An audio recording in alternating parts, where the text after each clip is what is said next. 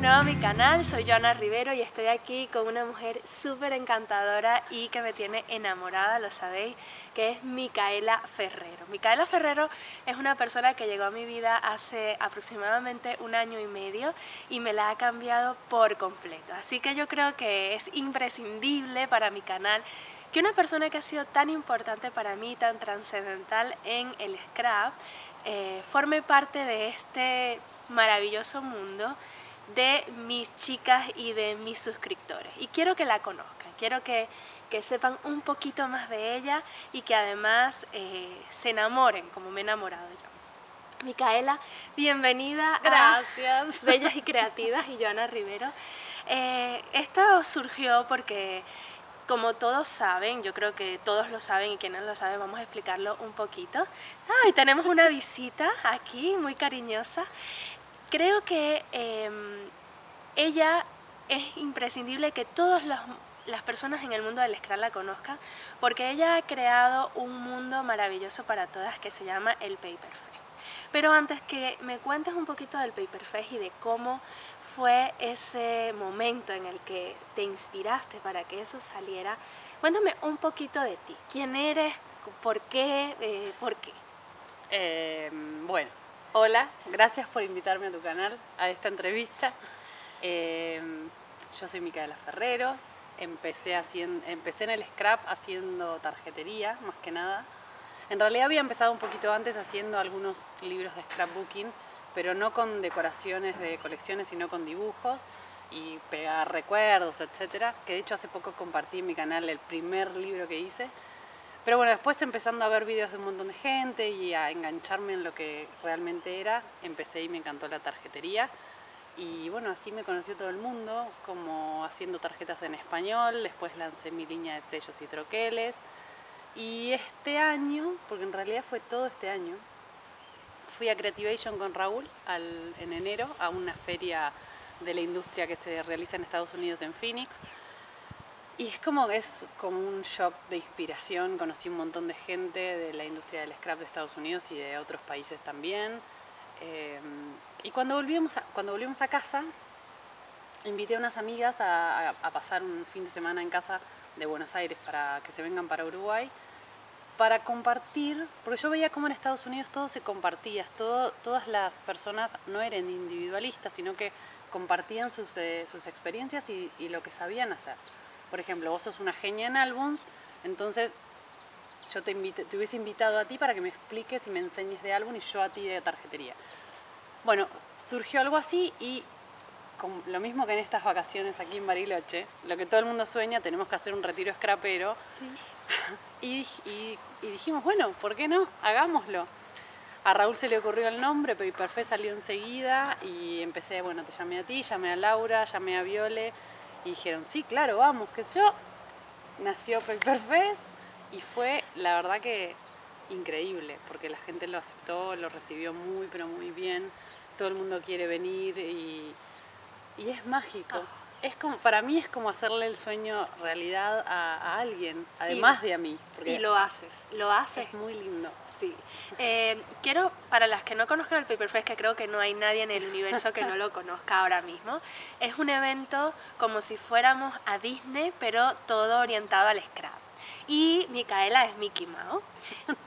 Es la que hace posible, bueno, Mickey Mouse no, sino más bien...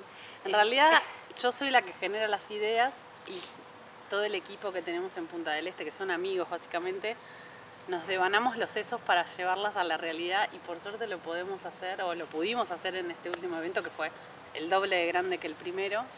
Y es como que nos hace feliz a todos, es increíble, hasta ser parte y venir a trabajar porque realmente es un trabajo y es extenuante, incluso es muy cansador para las participantes porque es todo el día de talleres y eh, eh, experiencias, cosas para hacer pero es tan lindo y la gente se va destruida, cansada, pero, ya, quiere, ya quiere volver. Pero ya quiere volver. Y se van siempre preguntando la fecha del siguiente.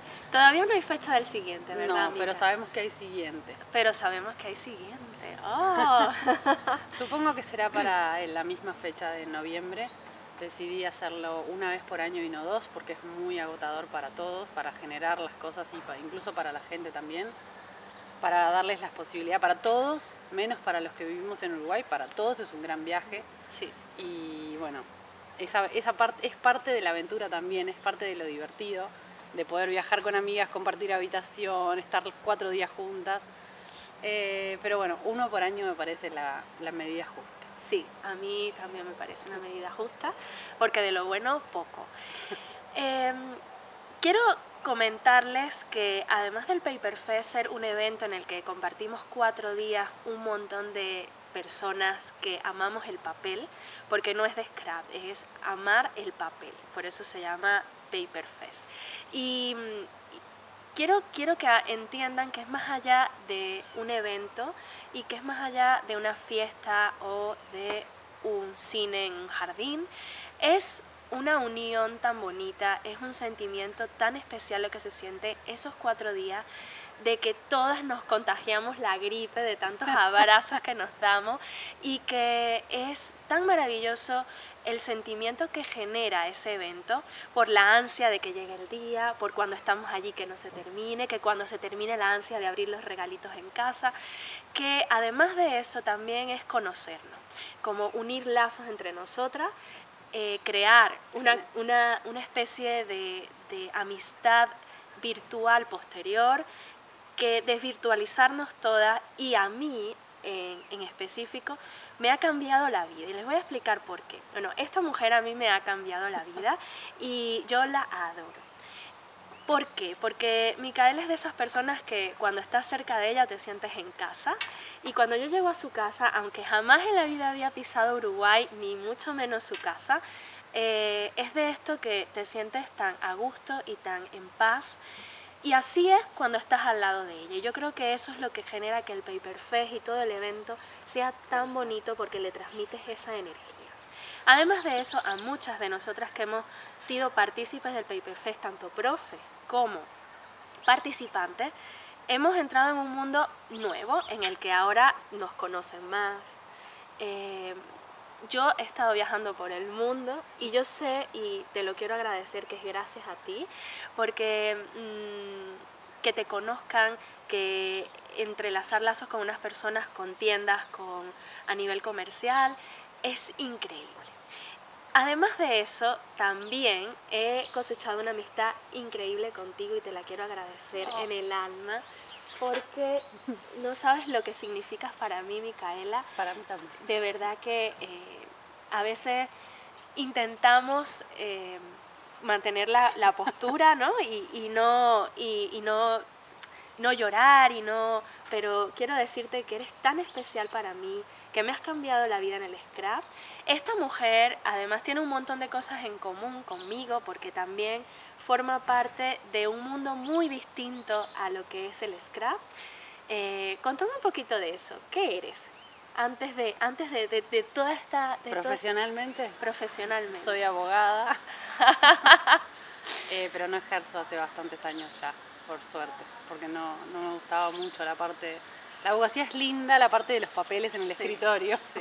pero después ya el, la, el, día a día con todos los, todos los clientes que te vienen a ver son problemas porque te traen problemas para resolver y eso va pesando en la espalda, sobre todo cuando uno tiene problemas personales, en mi caso tenía muchos problemas de enfermedades familiares y todo eso iba pesando cada vez más, pero bueno, por suerte pude dejarla pasarme al mundo del scrap, de la felicidad total. ¿Y te, cómo te sentiste? Que, cómo, fue tu, ¿Cómo es tu vida ahora que no eres abogada y que ahora eres scrapera y que eres un montón de cosas más?